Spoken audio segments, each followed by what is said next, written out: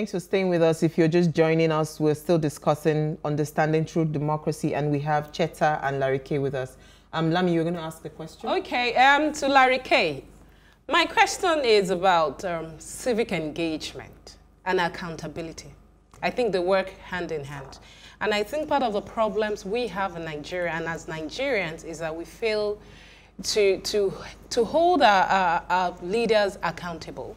And the, the, the procedure for accountability is almost not there. So what are your thoughts on this? Um, so we, which is part of the failure of what we talked about in terms of not really having democracy. Um, quite a lot of the uh, basic principle of accountable governance is completely missing here. So nobody is accountable, accountable to anybody. So if you look at the example of the Lagos State House of Assembly, you would find how ridiculous it was for not only that we're having corruption, but we're having impunity in the system. Um, you would see the Speaker of the House talking to the Parliament before the press and saying their wives were sponsored to Dubai. For what? You, you they can explain.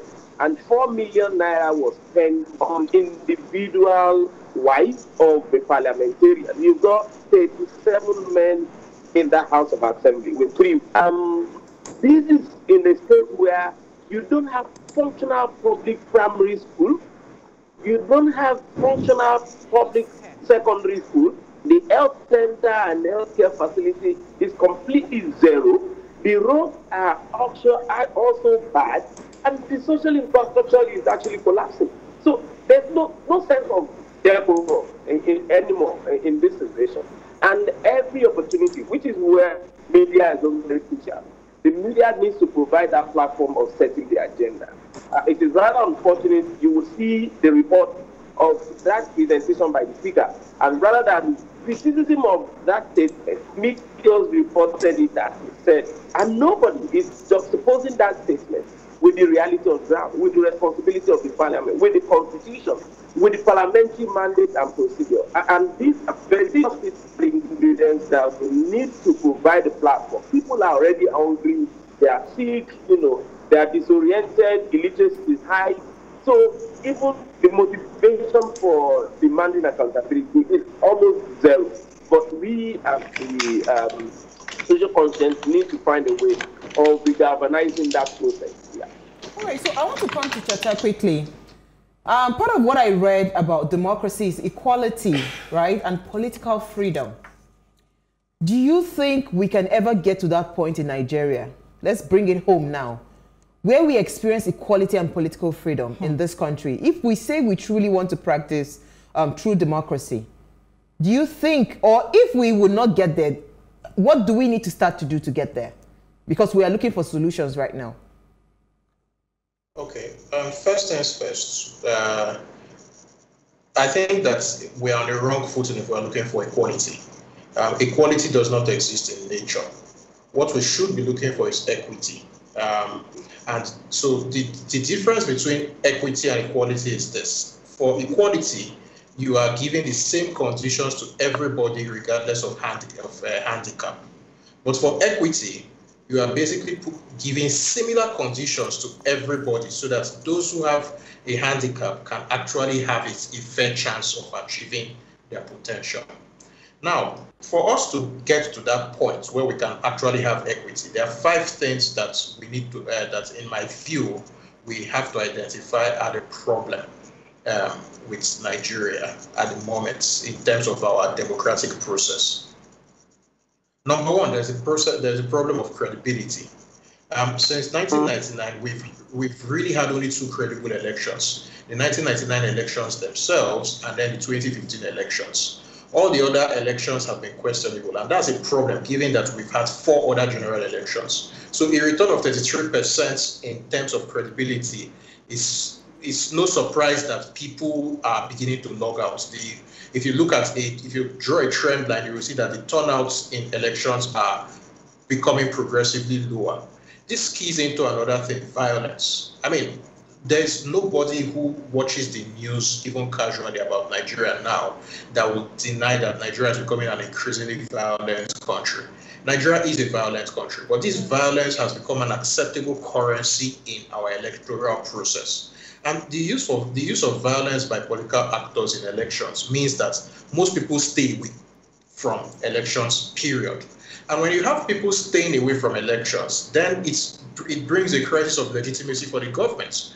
Um, what it, it leads to situations where non-state actors can fill in the gaps that the government has abandoned, which is why you have all sorts of names getting uh, getting more more prominent and more powerful within the system. Um, another thing that we that we must look at is electoral reform. So the legacy of uh, Umar Musa Yar'Adua, the former former president who is now late, God, God rest his soul, was the Uwais panel. He admitted that the 2007 elections that brought him into power were flawed, deeply flawed. So he set up a panel headed by Justice Uwais, and the panel recommended electoral reform. The Electoral Act, imperfect as it is, was the was the result of that. Now, Yar'Adua's successors, Goodluck Jonathan, but even worse, Muhammadu Buhari, have failed to build up on that. Muhammadu Buhari has had three chances at the very least to sign um, uh, reform, uh, reforms, amendments to the Electoral Act, and he has not just failed, he has refused. Which brings me to the next thing lack of continuity. One of the things that has been the bane of Nigeria's economic progress, and that has dovetailed into political progress, is the fact that most of our leadership have shown this penchant for coming in, scattering everything that the person did before, or scattering most things, and then starting again.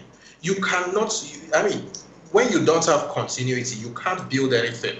Um, examples. Uh, a lot of uh, Goodluck Jonathan's power reforms were simply ignored by Muhammadu Buhari. Now his government is running around doing some of those same things after wasting five years. Yar'Adua himself, who I look at as somebody that was a, a, in many ways a model leader, reversed Obasanjo's proposed sale of the refineries. Where what are what are the refineries now? Remember that Yar'Adua died 10 years ago.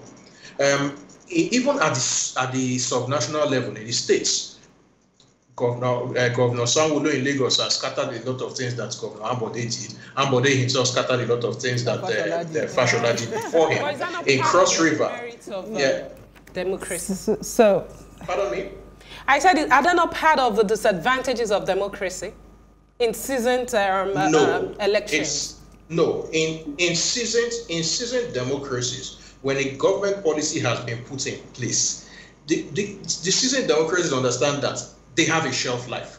But a government policy that is put in place, you don't see very good example uh, because that's where you have the, the biggest swings. Labour and conservatives in the UK.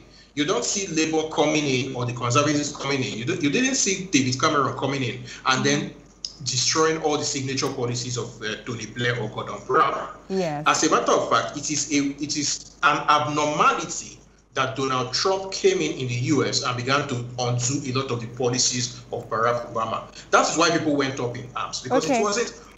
Um, Ronald Reagan was succeeded by Republican George Bush. okay, um, Cheta, I hear you. and continued many of the policies. Hi, Cheta. So if I could just jump in right there, um, what I'm hearing you say is that, you know, we need to start to focus on the system and stronger institutions, right? So to, for democracy to work, because we've agreed that we're on a journey, we're not there yet, right? So for democracy to work, um, we need stronger institutions that will essentially derive their authority from the Constitution, right? Not from one person or you know not from the executive or something right so for us to be able to achieve that right what do we need to do how can we enhance you know the electoral process that's number one number two for me is I feel like we should keep the same energy because a lot of us focus on the governor. You did mention, you know, the president, Yar'Adua, the governor. You know, shouldn't we keep that same energy for the House of Representatives, the House of Assembly, you know, and Tell the me, sorry to cut you short because we are running out of time. In Yeah. addition to what you have said, I would like to hear his thoughts about the present state of um, rule of law in Nigeria because it's an integral part of democracy. So if you Okay, can so- answer the question So in quickly. one minute for Cheta and Larry, please. So let's hear your final thoughts. Let Larry go first. Okay, all right, Larry, please. Okay, thank you. I, I, I think when I want to look at what you both said, you know, I, I think the focus is the other way around. The focus has been so much at the federal level, and, we've completely neglected uh, the sub-national level. Um, as you, you heard what happened in Kaduna yesterday. So the moment you don't have the independence of the other arms of government, the judiciary and uh, the legislature, you completely erode the sense of good governance, accountability, and transparency. So it is absent in all the 36 states of the federation. You can't hold credible local government elections. It is always the governors winning all the local government elections. But in all the states, you, there's no house that can stand and question the authority of the governor in all the states. So that is completely eroded. The judiciary, you have the governors appointing members of the bench, and the appointment is also based on nepotism, cronyism, and all that. And until we're able to get this right, until we're able to galvanize the people to make demands and query actions, decisions, and policies of government, it is extremely going to be very difficult for us to attain all that we are aspiring for. And I think the rule of law uh, is already playing out. You know, the absence of which you can see some of the judgments of Nigeria are not respected outside the country. The businesses will not come. So if you are inviting investment into a country where the rule of law is mm-hmm. not respected and the independence of the judiciary is not um, um, assured, people cannot come to arbitration because they can see that they can't get fair judgment um, from the court. So foreign investors will rarely come to place in places where you have this kind of um, eroded basic principles of, uh, of democracy. Thank you for having me. Thank you so much, Larry. So, Cheta, quickly in one minute. um, so there are two things. I mean, uh, Larry has talked okay. about rule of law, which is very vital. You, uh, once you don't have rule of law, um, it's there's there's really nothing that it's it simply will not work.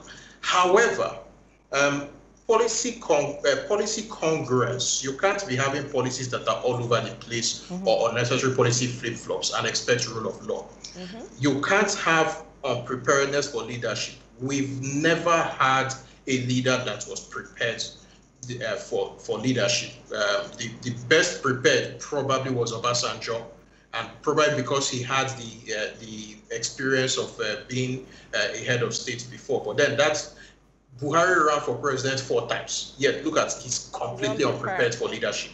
And it is under his watch that our security has so deteriorated and Nigeria is ethnically divided and religiously divided because he's an absentee absent, absentee leader. Um, so rule of law, preparation for leadership, and honesty. Hmm. We need to be honest about where we are mm-hmm. so that we can chart a path forward about where we are going. going.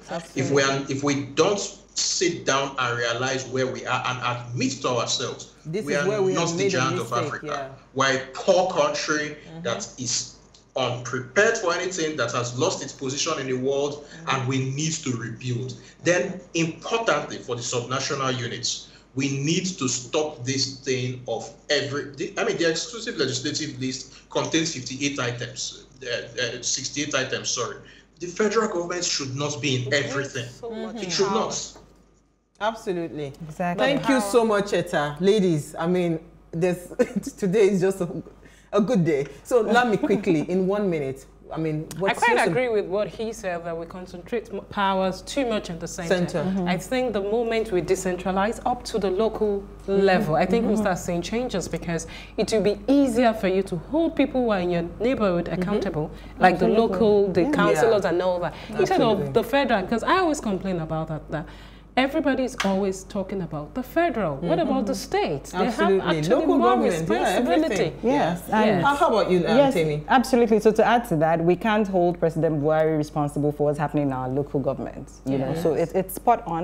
I'd just like to add that additionally for the senate because the president doesn't make the laws mm -hmm. right the local government guys also yes rep office for your neighborhood and all of that but they don't make the actual laws that affect us I mean, But, but, Cheta but sorry, mentioned just the to budget mention that, was passed. You know that quite a number of people do not even know who the representatives are. That's the thing. So During, that's where she's election, going. So we're- during elections, we don't pay. Yeah, we attention. don't forward, Yeah. enough of Yeah. the strong man politics or the mm-hmm. governor and the president. Mm-hmm. You know, let's Go keep the same energy for everybody and go so and that try we to know who to it see is that we are voting and change get that very we need. involved at that Absolutely. level. Exactly. Absolutely. I think we can wrap on that. Thank you so much, ladies, for doing this. All right, so really please like watch a repeat broadcast of this episode tomorrow at 3 p.m. It's been an insightful conversation. And keep all those conversations going on all our social media platforms at Wayshow Africa 1 and at Plus TV as we continue to hear what you're saying. Now, in case you missed today's quote, here it is again. Man's capacity for justice makes democracy possible, but man's inclination to injustice makes democracy necessary. Necessary. So at this point, democracy is truly necessary. Absolutely. So we'll see you live tomorrow at 8 p.m. as we bring another great conversation to your screen. Thank you so much to all our guests, Cheta and Larry K. Thank you. Thank you.